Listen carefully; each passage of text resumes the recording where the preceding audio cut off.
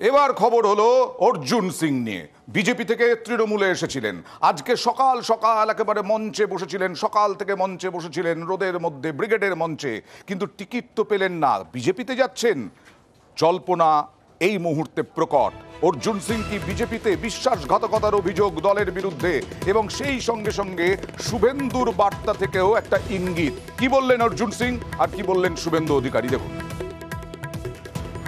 এটা ঠিক করিনি। কেন দল আমাকে নিয়ে এসেছিল টিকিট দেওয়ার ব্যারাকপুর কমিটমেন্ট করে। এই পার্টি আগে বলে দিত আমি দেবো না। আমাকে বলা হয়েছিল ব্যারাকপুরে টিকিট দেওয়া হবে। কে বলেছে যে দলে নিয়ে এসেছিল সেই বলেছিল। এবার টিকিট দেওয়া হয়নি। আজকে শেষ মুহূর্তে বলে দেওয়া হলো না টিকিট দেওয়া হবে না। তো এটা একটা মনে হচ্ছে বিচ অফ ট্রাস্ট হচ্ছে আমি কোনো সিজনাল ফল নই। আমি বারো মাসে হ্যাঁ, মনে আক্ষেপ তো থাকবেই। দেড় বছর ধরে দল বলে নিয়ে এসছে যে আপনাকে টিকিট দেবো ব্যারাকপুরে। দল একবারও যদি আমাকে বলতো আমি আসতাম না। অর্জুন সিংকে ওরা কোনোদিনই বিশ্বাস করে না আমরা জানি।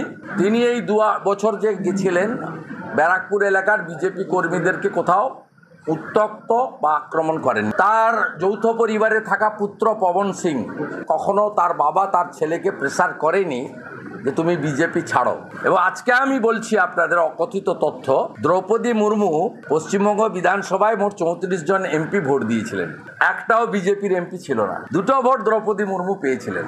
তার মধ্যে একটা অর্জুন সিংয়ের ছিল।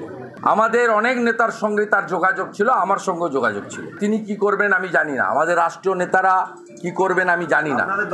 না আমি বলতে পারব না। I am not the authority কতটা জল্পনা কতটা জোরালো জল্পনা কথা বলব প্রতিনিধি অর্ণবের সঙ্গে। অর্ণব?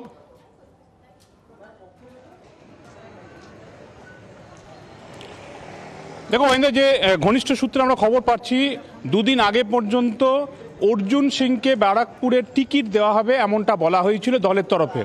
এই ঘনিষ্ঠ সূত্র দাবি করছে। কিন্তু আজ সকাল দশটা নাগাদ হোয়াটসঅ্যাপে একটি টেক্সট মেসেজ পান। সেখানে অর্জুন সিং জানতে পারেন যে তাকে টিকিট দেওয়া হচ্ছে না। এবং তারপরই তিনি যে কথাগুলি এখন বলছেন, সেই সুর তিনি চড়াতে শুরু করেন এবং তিনি এই বিশ্বাসঘাতকতা তত্ত্ব সামনে আনেন। অন্যদিকে, যখন তিনি টিকিট পাননি, তারপরেই তিনি বিজেপি নেতৃত্বের সঙ্গে যোগাযোগ করেন, রাজ্যের কিছু তার পরিচিত ঘনিষ্ঠ নেতার সঙ্গে যোগাযোগ করেন। এবং সেই ঘনিষ্ঠ নেতাদের সূত্রে তাকে বলা হয় যে তার ঘনিষ্ঠ সূত্রে নেতাদের বলা হয় যে তাদের কোনো আপত্তি নেই, কারণ অর্জুন সিং, তারাও মনে করেন না অর্জুন সিং বিজেপি ছেড়ে তৃণমূলে গেছেন।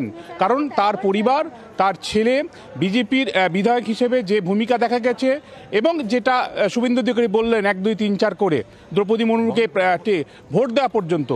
এই জায়গা থেকে রাজ্য বিজেপির সেই নেতৃত্ব অর্জুন সিং এর ঘনিষ্ঠ তাকে এটা জানিয়ে দেওয়া হয় আচ্ছা। যে তাদের কোনো আপত্তি নেই আচ্ছা। কিন্তু তিনি দলে ফিরবেন কিনা তিনি ব্যারাকপুরের টিকিট পাবেন কিনা সেটা কেন্দ্রীয় নেতৃত্ব ঠিক করবে কাজী কেন্দ্রীয় নেতৃত্ব না বলা পর্যন্ত এক্ষেত্রে রাজ্য নেতৃত্ব কিছু বলতে পারছে না সব মিলিয়ে কেন্দ্রীয় নেতৃত্বের দিক থেকে এই মুহূর্তে চেয়ে রয়েছে অর্জুন সিং একই সঙ্গে রাজ্যের একটা বিজেপির অন্যতম নেতৃত্বের অংশ তবে তোমায় জানিয়ে রাখি বারোই মার্চ সম্ভবত দ্বিতীয়বারের জন্য প্রার্থী তালিকা প্রকাশ করতে চলেছে আচ্ছা। বিজেপি এমনটা আমরা সূত্র মারফত জানতে পারছি।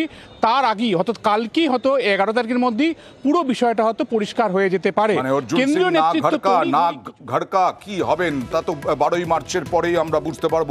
পার্থ ভৌমিক যিনি বারাকপুরের প্রার্থী হলেন তিনি কি বলছেন? দেখুন। দেখুন আগে অর্জুন এমপি ছিল আমি মন্ত্রী ছিলাম এমএলএ ছিলাম। আজকে হয়তো আমাকে এমপি পদে দাঁড় করিয়েছে। অর্জুন নিশ্চয়ই সম্মানজনক কিছু দলের থেকে পাবে সেটা তো দিদি প্রথমেই বলেছে।